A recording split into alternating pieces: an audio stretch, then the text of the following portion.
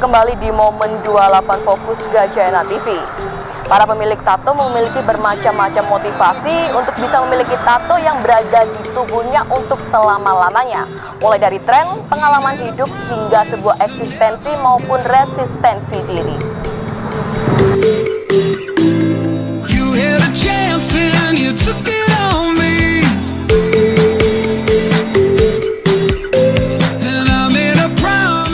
Pengalaman pertamanya jelas sedikit deg-degan.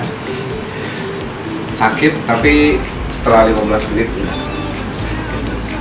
Cuman kalau untuk ada perbedaan dirasa sakit itu di eh, bagian-bagian uh, tertentu aja.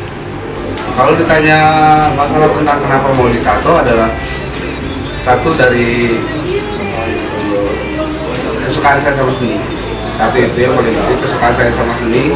Keduanya saya coba untuk mencurahkan uh, apa yang saya punya dalam hidup saya ini maksudnya apa yang saya jalani apa yang saya rasain ya dalam tato ini.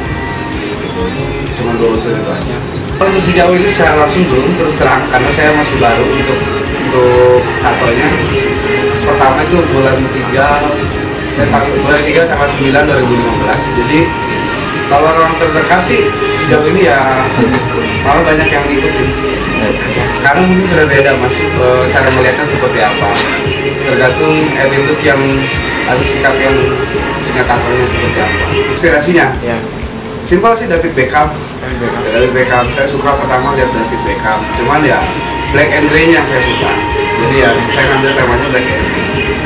Bukan perkara mudah untuk bisa memiliki tato khususnya yang permanen perlu tanggung jawab dan alasan yang besar untuk bisa memakai tato di tubuh saya Oki Taluk Muafi beserta kru yang bertugas mengucapkan terima kasih dan sampai jumpa.